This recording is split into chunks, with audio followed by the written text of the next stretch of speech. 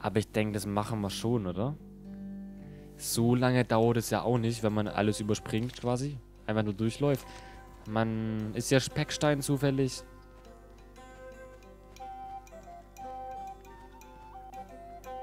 Nein, Schotterbusch. Tag. Was soll sein? Keine Ahnung. Ihr seht grimmiger aus als sonst. Hattet ihr Ärger? Ärger ist gar kein Ausdruck. Man hat mich um die Zeche geprellt. Da war ein paar Mal so ein Kerl hier, hat immer schön anschreiben lassen, wenn er sich den Wanz vollgeschlagen hat. Und jetzt lässt er sich nicht mehr blicken. Die Stadtwache kann ich damit nicht belästigen.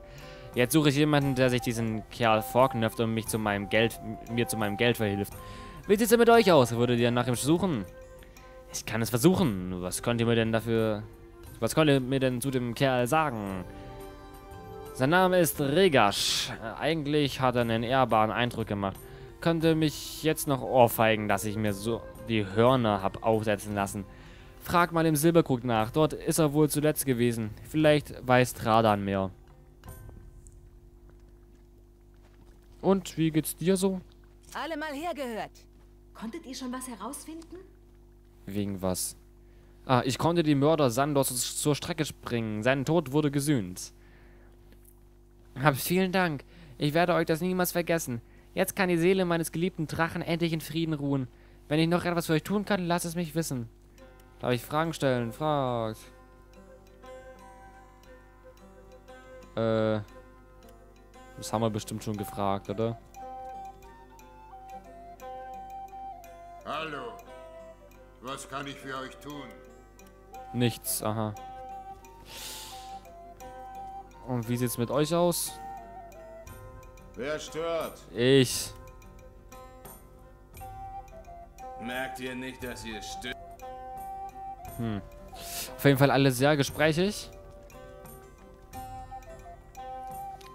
Ah, ihr seid also doch interessiert an dem Bürstenset mit der Gratiskiste Seifenpaste. Nein. Äh. Nein, um Gottes Willen. Das haben wir schon mal probiert, oder?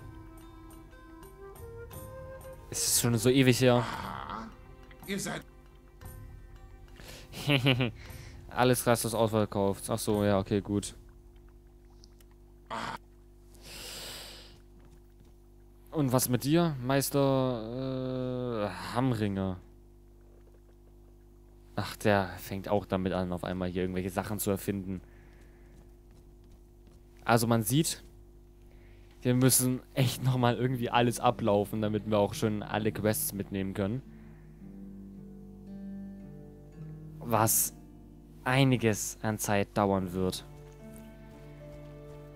Aber ich glaube, wir müssen auch so nochmal zum Silberkrug. Der trifft sich ja eigentlich ganz gut.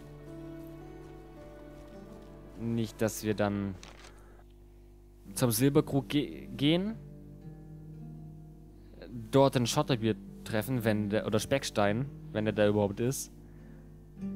Dann zum Hafen, in die Taverne, die Quest bekommen und dann nochmal zum Silberkrug gehen müssen. Das wäre natürlich blöd. Also, ich hoffe natürlich, dass der Speckstein hier zu finden ist. Ich weiß es nicht. Aber wahrscheinlich ist es. Ich habe keine Ahnung. Schauen wir mal. Taverne Silberkrug. Also wenn dann wenigstens in der Quest gesagt werden würde, wo der ist. Oder halt auf der Karte angezeigt. In welches Gasthaus man dann gehen muss, das wäre schon sehr praktisch. Aber ich meine, wenn sie nicht mal bei der Schatzsuche da einem wenigstens ein kleines bisschen helfen, dann warum denn hier?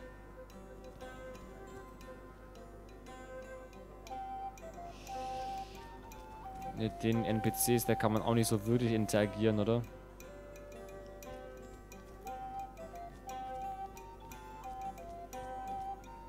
Ein Holzfäller?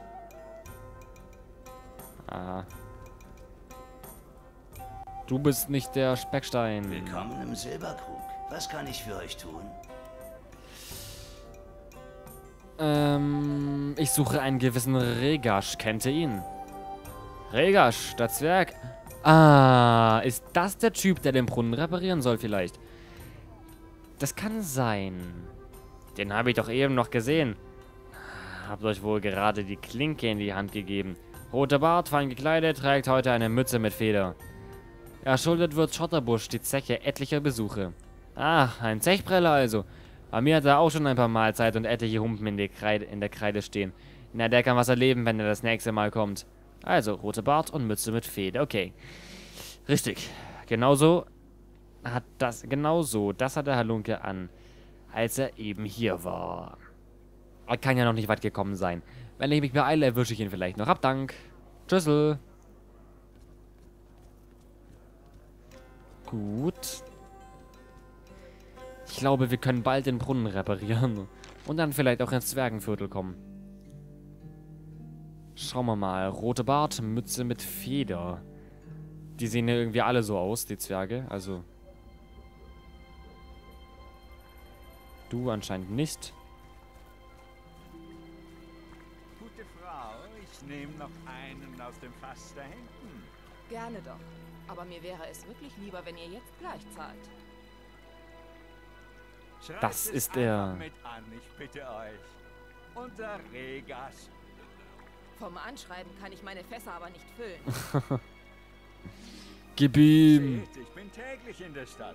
Ich zahle euch das nächste Mal aus. Ihr seid doch wohl jeden Markttag hier. Ja, das Oder ich. jeden Tag. Ich werde mir euer Gesicht Tag anschauen. und Nacht. Gutes Bier.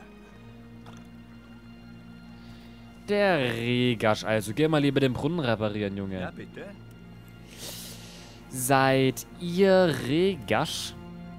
So ist es. Wer fragt? Ich. Schluss mit den Spielchen. Wirt Schotterbusch schickt mich. Ich soll die Zeche eintreiben. Sch, nicht so laut. Also raus mit den Penunsen. Wo? Wollen wir die Sache nicht anders lösen? Drei Silberlinge und ihr vergesst, dass ihr mich getroffen habt. Vom knausrigen Schotterbusch bekommt ihr bestimmt nicht so viel als Belohnung. Zechprellerei und jetzt auch noch Bestechung. Das wird ja immer toller. Am besten ich hol gleich die Stadtwache. Oder ich übe Selbstjustiz. Da habt ihr auch wieder recht. Die Angelegenheit hat mich ohnehin schon mehr Zeit, ge äh, Zeit gekostet, als mir lieb wäre. Ihr gebt mir die drei Silber und ich lasse euch laufen. Also für drei Dukaten würde ich es mir überlegen, aber für drei Silberlinge? Nö. Nein, nein, so weit müssen wir es dann auch nicht kommen lassen. Ich gehe sofort ins flinke Frettchen und zahle Schotterbusch aus. Da verheimlicht doch was. Hinter der ganzen Angelegenheit steckt doch mehr. Ich sehe es euch an. Ich. Ja, ja, ihr habt recht. Ich mache das auch nicht des Geldes wegen, sondern. Nun ja, ich wohne als angesehener Bürger in der Grafenstadt. Doch all die Regeln der Etikette, auf Dauer sind solche Dinge doch sehr zermürbend. Da kam ich eines Tages auf die Idee, mich ab und an mal unter die einfachen Leute zu mischen. Unter falschem Namen versteht sich. So konnte ich einfach meinen Alltag entfleuchen und Dinge tun, die ich sonst nie tun durfte. Und das soll ich euch glauben. Bei Ingrim, es ist die Wahrheit. Wenn ich mich so in meinem eigentlichen Umfeld betra betragen hätte, wäre mein guter Ruf sofort dahin gewesen. Tja, und jetzt habt ihr mich erwischt. Wenn das publik wird, ist mein Ruf erst recht dahin. Irgendwo kann ich euch ja verstehen. Aber als ehrenhafter und angesehener Bürger dieser Stadt solltet ihr zumindest auch inkognito eure Zeche zahlen. Also gebt mir das Geld für Wirt Schotterbusch und, und begleicht in Zukunft eure Rechnungen. So müsst ihr euch auch weniger sorgen, dass eure Posse aufliegt. Ihr habt vollkommen recht, ich sehe es ja ein. Gut, dann werde ich von eurer Meldung, von, werde ich von einer Meldung bei der Stadtwache absehen. Habt Dank. Die Sache sollte möglichst kein Aufsehen erregen. Ich werde auf der Stelle zum flinken Frettchen gehen und die Angelegenheit persönlich bereinigen. Nochmals meinen Dank, dass ihr die Sache so diskret behandelt. Schönen Tag euch noch. Ich mach das schon. Ja, ja, ich bin ja schon auf dem Weg. Ah, das ist nicht der Typ, der den Brunnen reparieren soll, anscheinend. Der Zechpreller. Der defekte Brunnen. Da steht da irgendwas. Handwerker. Brunnenreparatur. Bla, weiß ich nicht. Berichte Scho wird Schotterbier, äh, Schotterbusch, wie auch immer. Heißen ja alle gleich hier.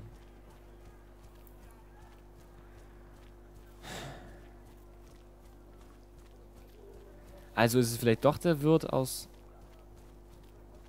der Taverne in dem Ding. In, äh, wo ist es? Wo geht's jetzt zum Hafen nochmal? Da vorne. Ähm, aus dem Fuhrmannsheim. Der Speckstein. Der seine Schmuckschatulle da vergisst. Äh, vermisst. Dann trifft sich's ja eigentlich, dass wir nach Fuhrmann gehen. Fuhrmannsheim gehen. Wenn wir da eh nochmal alles absuchen wollen.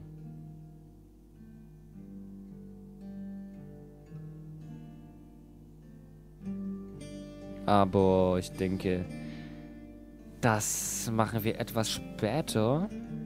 Weil jetzt müssen wir erstmal hier... Bet ich, hä? Betrunken nur. Ja, ja, schön. Äh, jetzt müssen wir erstmal hier unsere Belohnung abholen. Hätte der Zwerg uns eigentlich auch wirklich das Geld geben können, wenn wir da eh hingehen. Aber ich meine, das wäre ja zu viel verlangt. Ein bisschen Kombinationsgabe und Einfachheit und so. Warum einfach, wenn es auch kompliziert geht? Hängt er jetzt hier zufällig rum? Sieht nicht so aus. Wäre schön gewesen, wenn man das jetzt sehen würde, wie der bezahlt und dann angeschissen wird von dem oder so. Aber na gut. Tag. Was soll sein? Wegen dem Zechbreller. ihr braucht gar nicht weiter zu reden. Ich weiß zwar nicht, was ihr mit ihm eingestellt habt, aber dieser Regasch war hier und hat bis auf den letzten Heller bezahlt. So, dann gibt's, einen schön, gibt's ein schönes Helles aufs Haus. Ach ja, und diese Dukaten für die Mühe. Hier. Vielen Dank. Wie viel haben wir bekommen? Weiß ich nicht. Einen wahrscheinlich. Irgendjemand hatte jetzt anscheinend ein Level-Up. Ich nehme die Sache in die Hand. Ich mach das schon. Ich versuche mein Bestes. Aha, Skelett können wir erhöhen. Scheint also der Modifikator wirklich mit der Stufe zusammenzuhängen irgendwie.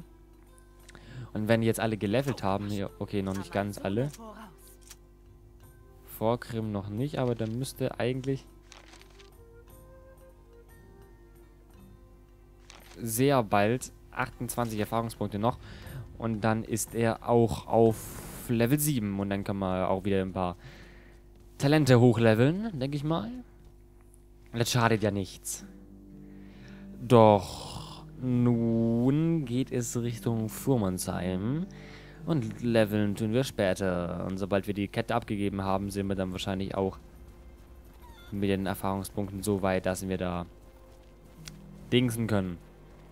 Wo geht's denn hier zum Fuhrmannsheim? Da geradeaus. Hier lang. Das machen wir mal so. Da muss ich nicht auf die Taste drücken. Ist doch auch was Schönes.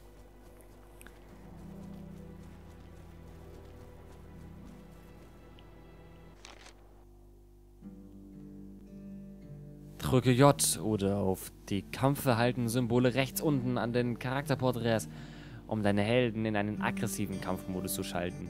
Sie werden dann Gegner in Reichweite automatisch angreifen. Das ist hervorragend. Allerdings konnte ich den Rest nicht mehr lesen. Und wo geht's denn jetzt hier weiter? Oder wo gehen wir lang? Einfach mal überall. Überall lang gehen, das wird da schon hoffentlich... Was macht denn Feuerfliegen-Ei hier drin in der Stadt? Wurde auch Zeit, dass sich endlich mal jemand um diese Nester kümmert. Aha. Nestor wollte damit etwas sagen, dass es mehr als nur dieses eine gibt. Aber ja doch, ich habe in ganz Fuhrmannsheim welche gesehen. Wenn diese Viecher hier herumschwirren, kann sie doch kaum jemand auf die Straße wagen. Ich sage euch was, ihr seid so spielend mit diesem Nest hier fertig geworden, kümmert euch bitte auch um die anderen. Ich habe gerade gedacht, hoffentlich ist es nicht so eine Quest, wo man durch die ganze Stadt laufen muss und solche Sachen einsammeln muss. Wie in Fable, die Zwerge und Bücher und Silberschlüssel und so. Und dann sowas. Keine Sorge, diese Feuerfliegen werden schon bald keine Gefahr mehr sein. Dachte ich's mir doch, dass ihr jemand seid, der Taten sprechen lässt, anstatt sich mit Worten herauszureden. Ich zeige euch die Stellen, wo ich Nester gefunden habe auf eurer Karte. Ah, okay, gut. So muss es sein, dass es einem angezeigt wird, wo man hin muss. Dann passt es. dann ist es kein Problem. Nicht, dass man jedes einzelne Fleckchen absuchen muss.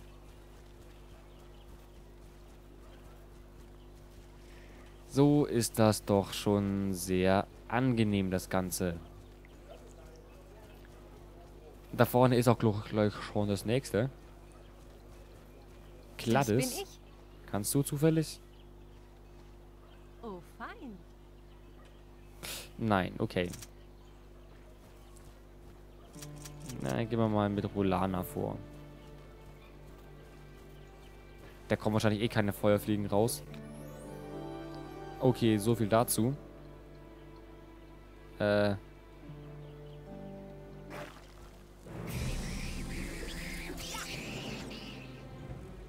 Für die Ja, greif an. Für Rondra. Da passt auch. Reicht auch ein einfacher Schlag. Braucht man keinen extra starken. So. Aber warum sind bei dem einen Feuerfliegen einfach vorhin keine Feuerfliegen rausgekommen? Komisch. Fische, frische Fische, Flusskarpfen, Angbarsche, Plötzen, alles was Schuppen hat, findet ihr hier. Gibt's was. Neues? Frische Fische, erst heute. Fische, frische Fische. Oh, hallo. Was darf's denn sein?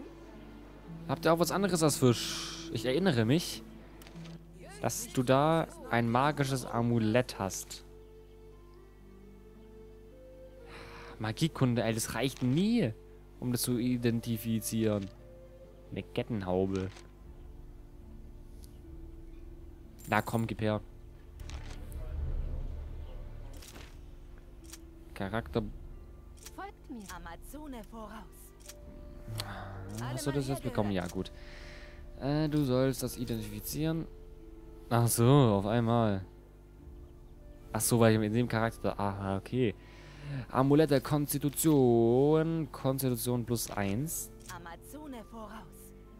Konstitution 15, 16. Ja, das passt ja. Gute Entscheidung. Hat sie noch mehr Leben? Der hat ja hier schon dieses Mut-Amulett.